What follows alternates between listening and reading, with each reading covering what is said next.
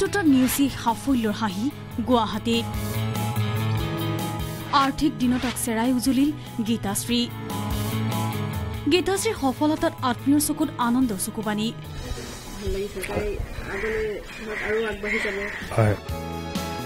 শুকুৰবাৰে ঘোষিত হাইস্কুল শিক্ষান্ত পৰীক্ষাত ডিষ্টিংশ্যন লৈ উত্তীৰ্ণ হল গুৱাহাটী মহানগৰীৰ গণেশপাৰাৰ এইগৰাকী গীতাশ্ৰী তালুকদাৰ।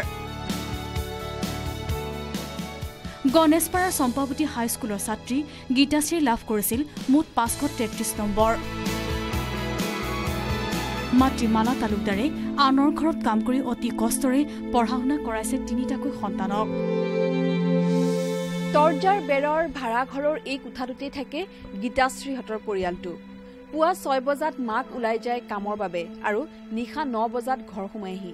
এই সময়খিনিতে গীতাশ্ৰীয়ে পঢ়া শুনা কৰি অৱশেষত এটা সুন্দৰ ফলাফলেৰে নিজৰ মেধাৰ পৰিচয় দিবলৈ সক্ষম হৈছে।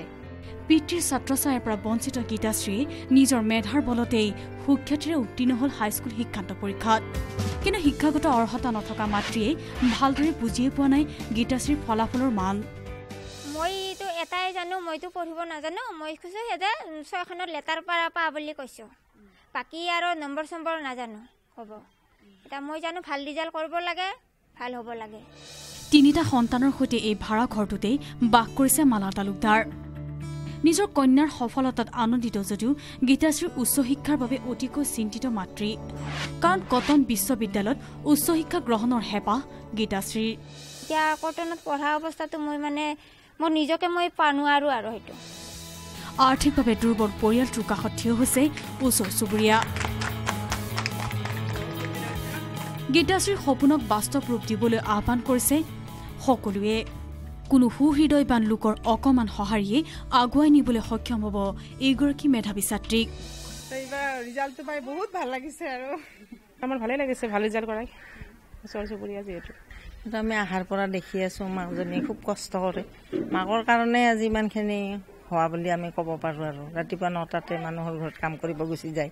মোৰ মানে ইমান ভাল লাগিছে মই ক'ব পৰা নাই। ৰাতিপুৱাৰ পৰা মানে তাৰ ৰিজাল্টটো লৈ এক্সাইটেড হৈ আছোঁ। মাকে মোৰ তাত কাম কৰে বহুত কষ্ট কৰে। আৰু মাকক জিনিয়াছ ক'ব লাগিব। মানে পঢ়াক লৈ ইমান ইণ্টাৰেষ্টেড ইমান মানে নিজে নাজানিলেও পঢ়া শুনা কিন্তু ছোৱালী কিন্তু ভালকৈ ডাঙৰ কৰিছে আৰু মানে চব সুবিধা দিছে। আৰু তাই মানে কোনো কষ্ট হ'বলৈ দিয়া নাই। কেমেৰা পাৰ্চন নিতুল কৃষ্ণৰ সহযোগত Mousumi Sharma Baruah news eighteen Assam north east.